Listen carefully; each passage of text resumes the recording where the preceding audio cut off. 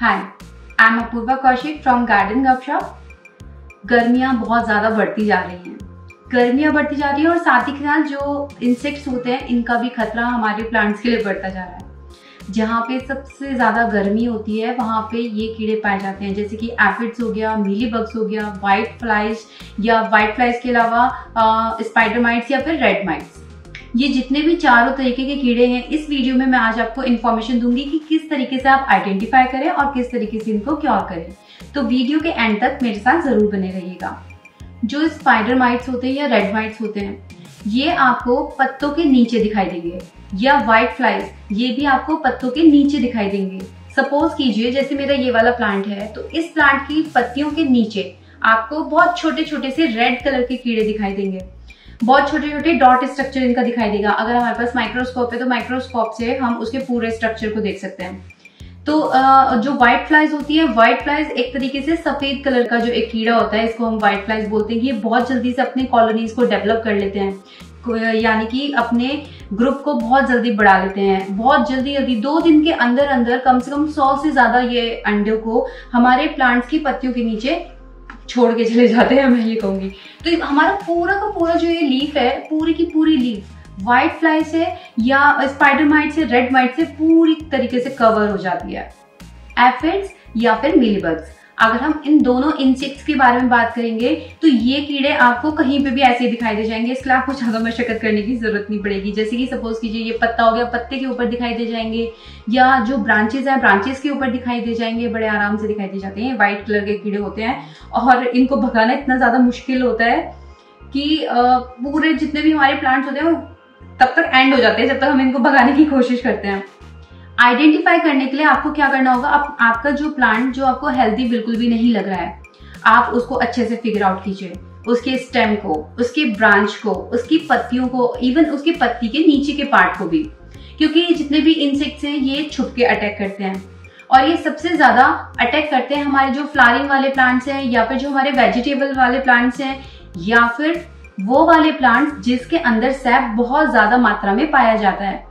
अब सैप हमारा क्या होगा? सपोज़ कीजिए कि हम किसी भी प्लांट को अगर दो पार्ट में डिवाइड कर रहे हैं, उसमें से जो भी लिक्विड निकलेगा, इस लिक्विड को हम सैप बोलते हैं।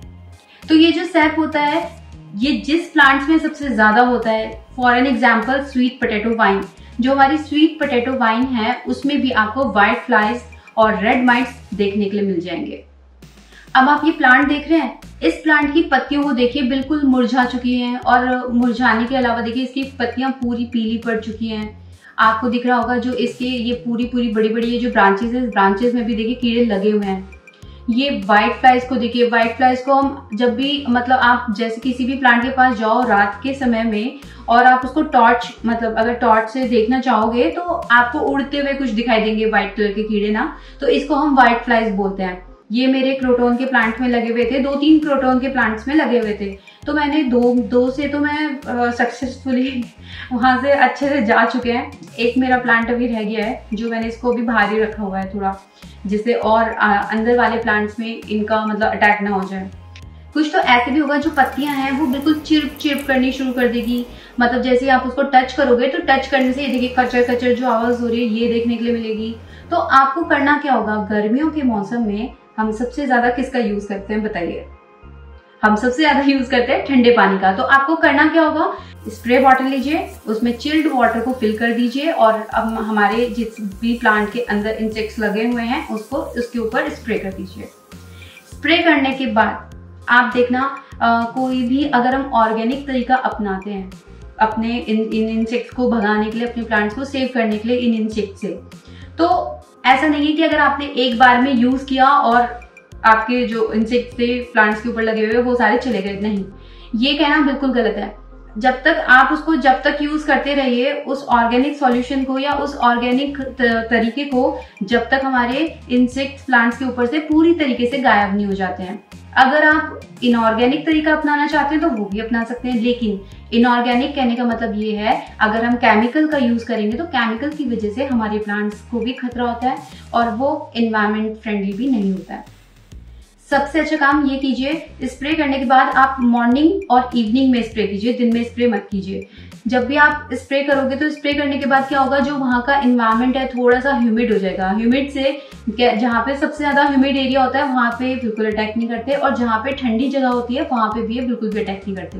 आपने देखा होगा कि विंटर सीज़न में ये इस तरीके के इंसेक्ट्स देखने को मिलते ही नहीं है। वो इसलिए क्योंकि इनको हॉट एरियाज़ बहुत ज़्यादा पसंद है और ये छुप के अटैक भी कर लेते हैं। तो ये ट्रिक ज़रूर अपनाइएगा। ये ट्रिक यूज़ करने से मैंने अपने बहुत सारे प्लांट्स को सेव कर चुकी हूँ मैं। उम्मीद करती हूँ कि आपको मेरा ये वीडियो ज़रूर पसंद आएगा शेयर कीजिएगा सब्सक्राइब कीजिए मेरे चैनल को जल्दी से और बेल आइकन को प्रेस कर दीजिए। आने वाले मेरे वीडियोस का नोटिफिकेशन आपके पास पहुँच जाएगा।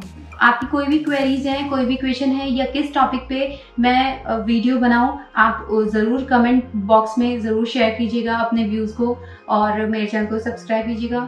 Thank you so much for watching my video